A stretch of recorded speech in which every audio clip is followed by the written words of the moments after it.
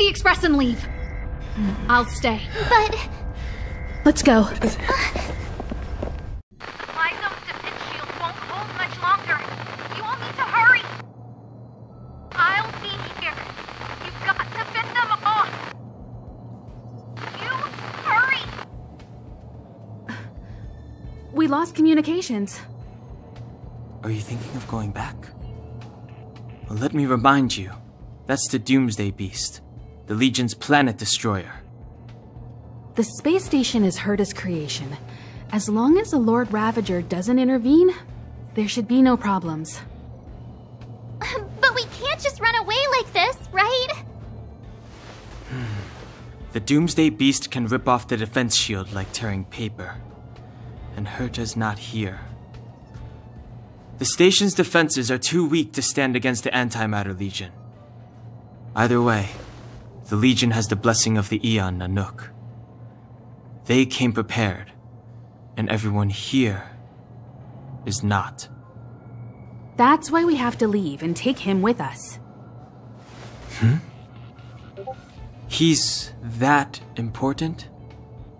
He's the one who can help us turn the tides. Of course, I may be wrong. Hmm. As you say so. Alright. What should we do next? This is the supply zone where the maintenance crew works. There's a path here that leads to the railway platform. Let's head over there and meet up with Welt. Mr. Yang? Mr. Yang's here too? Didn't he stay on the express? The Astral Express tracks our coordinates in real time. And with such a huge change in the space station's movements, there's no way Mr. Yang wouldn't have noticed. Mm-hmm. I can almost guarantee that your Mr. Yang is already on his way. Right now, we might be able to handle things if it's just the Doomsday Beast, but if the Destruction's Emanator were to appear...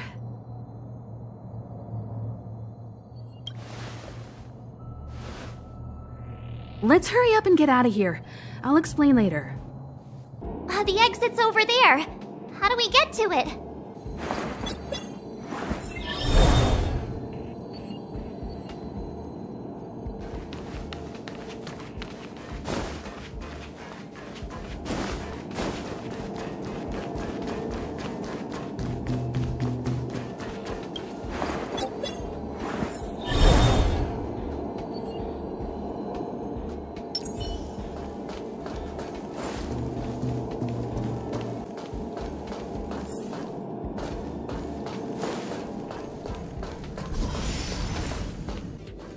Couldn't have done it without me.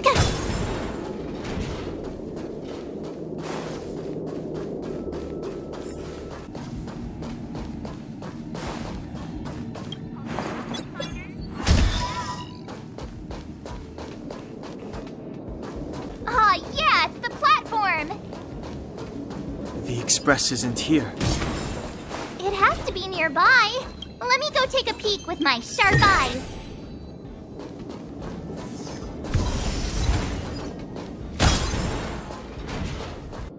March!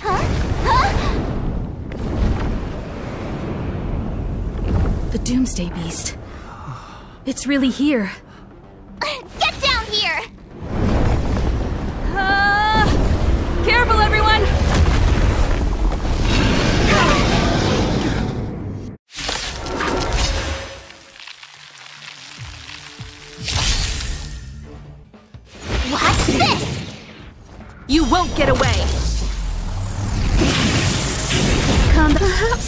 Still don't understand. Humanity never conceals its desire to control the heavens. And I'm no exception.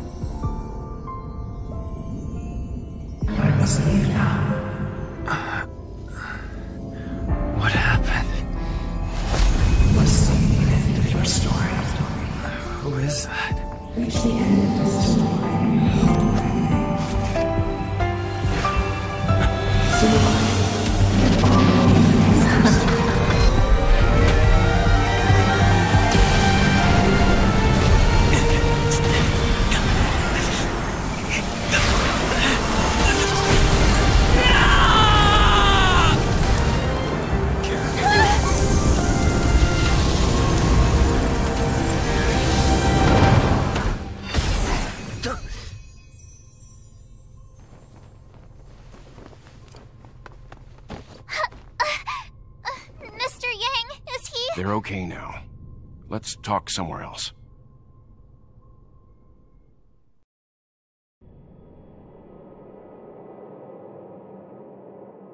Uh, is this. the space station? Hello there.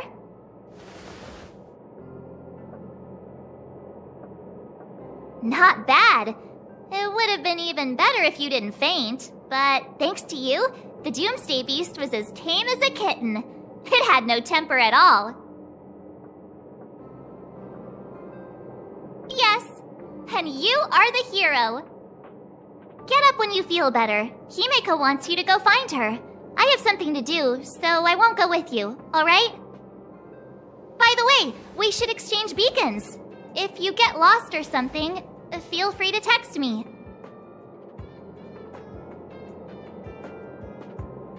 Okay, off I go.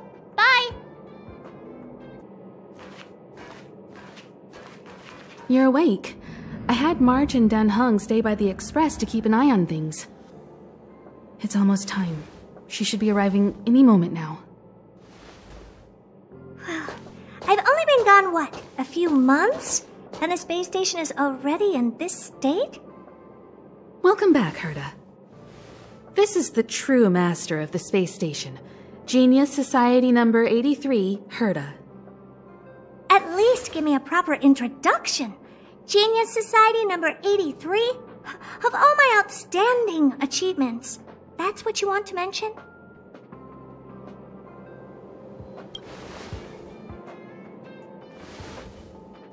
What you're seeing here is one of my puppets. I'm using her to talk to you. So, this little twerp has the Stellaron now? Huh. Hmm. I'll have to take a good look.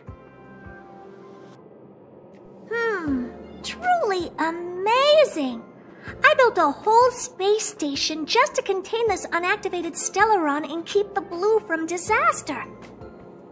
Yet someone was able to achieve that with this little twerp's body? How did they do it? Moreover, the Stellaron is still very stable in his body. You're right. This little one's body truly is strange. All right. I got it. But I'm still gonna call you Little Twerp. The space in my brain is too valuable to store people's names. Oh. Well, thanks for remembering my name then. That's different. We have business with each other. Um, what was your name again? Uh, uh, forget it. Let's focus on the one who can store a Stellaron in their body. Can I bring him in for some research? That's not up to me to decide. You can ask him yourself. Study you, of course. Your body contains a Stellaron, which in some sense is no different than storing a bomb. Who knows what might happen? Maybe it'll blow you to bits someday. You should be grateful that this genius is willing to help you out. I still have some interest now, but once that's gone, I'm not studying you even if you beg me. I'm very interested now. So there's almost nothing I won't accommodate. A Stellaron in your body? How interesting is that? Be grateful that I'm offering to help you out. This is a service even the IPC can't buy. You understand now? Herta wants you to stay in her space station. Well, I'm going to have to modify your wording here. This little twerp can only stay temporarily until the research is done. Or maybe I'll lose interest halfway through and they can just beat it. And after that? Not my problem. You also have another option. The Astral Express. If you want, you can leave with us. The Express has its fair share of experiences with Stellarons. The thing you're worried about and the answers we're looking for are one and the same. Besides, we can come back any time to let her to conduct her research. She's absolutely fascinated now. Hmm. Well, works for me. Keeps this subject fresh, too. And that way, I won't need to keep worrying about this little twerp all the time. Perfect.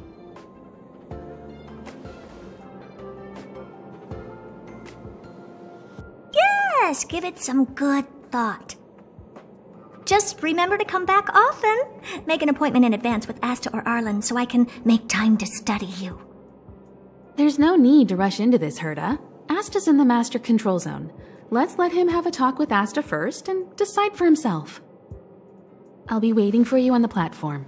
It's no hurry if you still have things to do or someone to see. Come find me when you've made your decision.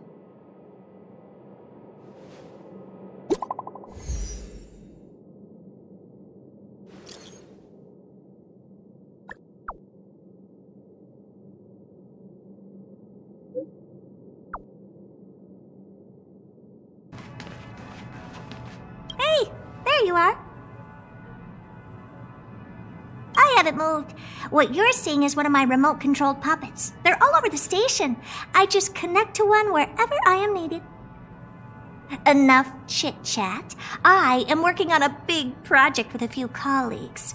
If we succeed, it will answer the ultimate question that's been puzzling us for thousands of amber eras the truth about Aeons. Aeons. Think about it. What mystical existences. Some Aeons used to be ordinary humans like you and me, but somehow they managed to obtain power beyond our imagination. They are mysterious, powerful, silent, and terrifying. It's hard to explain all the mysteries surrounding them. How were they created? Why were they created? What were they created for? Have you ever thought about these questions? 42 what? A- Are you even listening to me? We want to solve the mystery behind the Aeons. Right now, I want you to participate in this project. The four geniuses of the society wrote a program together. You see the big machine in the office? That machine contains a universe. Just like the universe we live in, but it's more streamlined and customized. I call it the metaverse. Oh, really? That's what my partner said as well. Fine. I am a team player. Then let's call it the simulated universe. Now go and experience it for yourself. I will guide you in the simulated universe to make sure nothing happens to you. I'll even give you a substantial reward.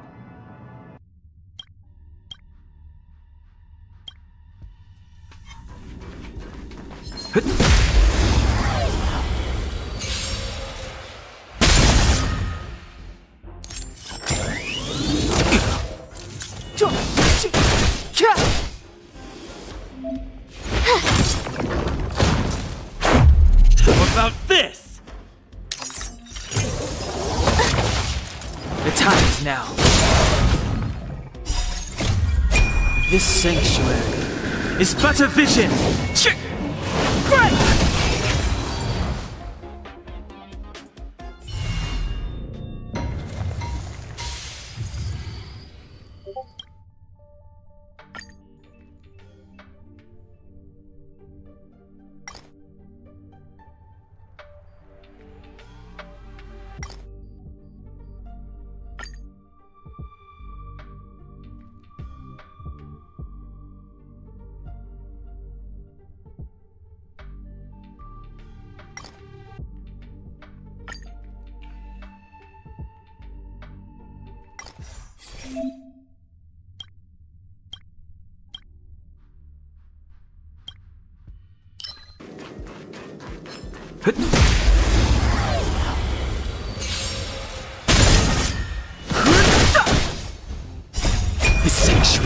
But a vision. Break!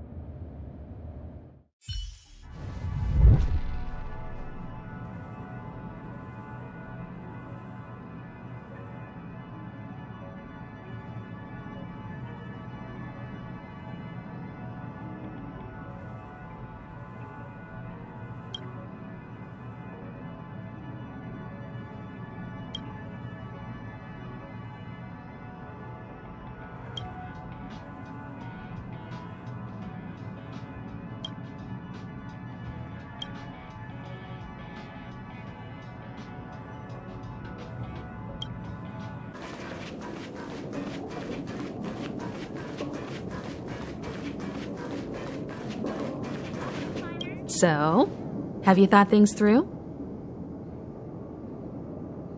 Then come with me.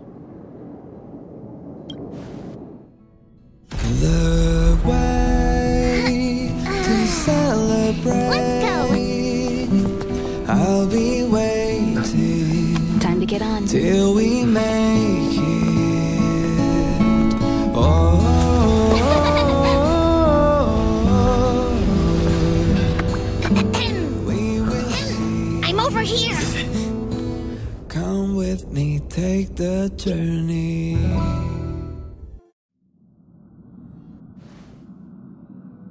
Hey, you over there looking dumbfounded. Yes, Pom Pom's talking to you. Himeko told Pom Pom about your situation. Now listen up. Pom Pom will only say this once. Pom Pom's sure there have been lots of people telling you how special you are lately. But this is the Astral Express, and everyone on here has their secrets. Since you chose to board, you can abide by the rules. You're not the only special one here. You'd best remember that. I'm Pom Pom, the conductor. Just come find me if you have any trouble. Here already? Hmm. I was just engaging in pleasantries. How can I help? Oh? Why are you interested in her room? Ah, Pom Pom remembers Himeko saying that you saved her. Mmm, very brave. Very foolhardy. But that is what a trailblazer should be like. March 7th's room is in the express sleeper compartment.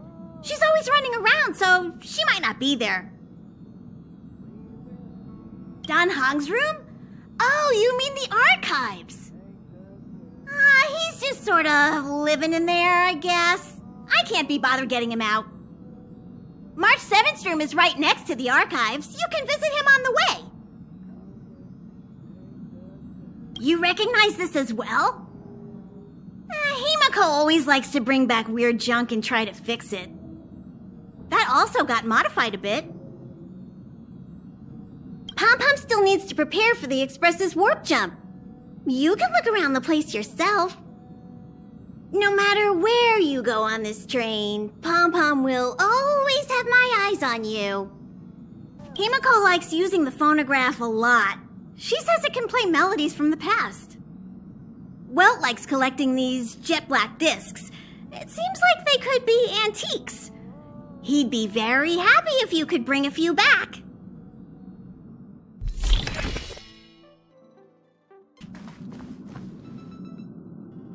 There seems to be the sound of electronic equipment.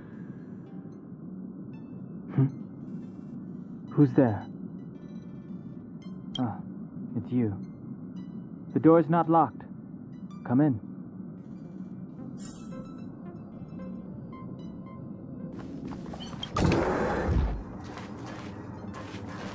Can I help you? Feel free. This is open to everyone on the Express. While many of the roads that Akivili traveled along no longer exist, I think it's still meaningful to record our adventures as current passengers of the Express. I enter the collected data into the Archives databank. I try to catalog the people and places the Express encounters, and compare and contrast them with the existing records. Do you see the terminal over there? It can be used to view information already stored in the databank. Do give it a go. The door is unlocked. Should I go in? Just one look should be fine, right?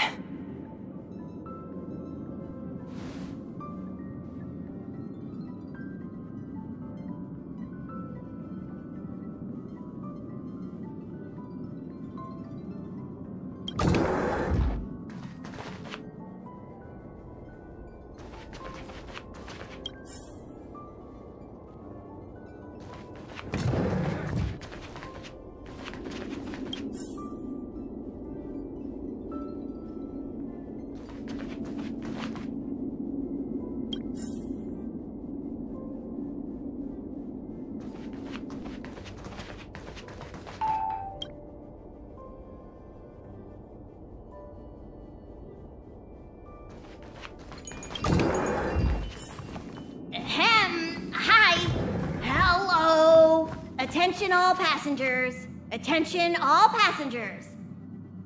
The Express is about to conduct a warp jump. All passengers, please gather at the main hall. I repeat, the Express is about to conduct a warp jump. All passengers, please gather at the main hall. you took long enough, but at least everyone's here now. He won't be here, so just leave him be. Oh, yeah, take these. A tiny bonus from the conductor to the passenger. Think of it as an investment in your future growth. Okay, everyone, hurry up and find a place to sit down. Try not to be like March, always running around the express like a headless chicken. Pom Pom's going to start the final preparations for the jump.